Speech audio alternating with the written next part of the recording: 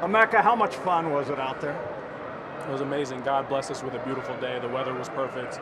Um, he allowed us to wake up today and just be able to play the game that we love and we're passionate about.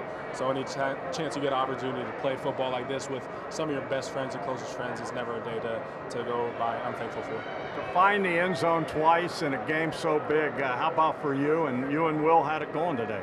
Yeah, we, sure, we certainly did. But um, I was saying this earlier. It's 11. It's an 11-man effort. So um, I wouldn't have been able to have the opportunities that I did without the O-line blocking, the running backs blocking, Will putting it on the money, the other wide receivers opening up the defense for me. So um, every time someone scores, it's really all 11 of us scoring. You're a veteran. You know that in these matchup games, turnovers can be killers. The poise this offense showed, not letting that to, to get you down and to keep coming back yeah, being able to battle adversity is something that you're going to face every single year. So turnovers are, you know, unfortunate, but they're part of the game. Uh, mistakes happen. So just being able to not let our morale get down and bouncing back from those like we did in the second half is going to be key the rest of the season. Was that the big difference in the second half? You guys just cleaned everything up? Yeah, absolutely. I think if you look at the first half, we were moving the ball extremely well. Um, it was only the turnovers that really cost us. So I think the second half looks like what the first half would have been if we hadn't had those turnovers.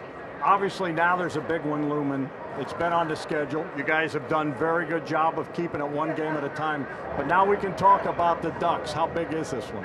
It's, it's amazing. The undefeated team, ranked team, um, welcoming them to the Big Ten going over, you know, flying across the country to Eugene, Oregon. It's going to be a fun game. This is a game you come to Ohio State for kind of a weird schedule you guys have had. You know, the bye was kind of weird, and but it's been a progression with tougher games each one. You feel like your club is now ready for this matchup?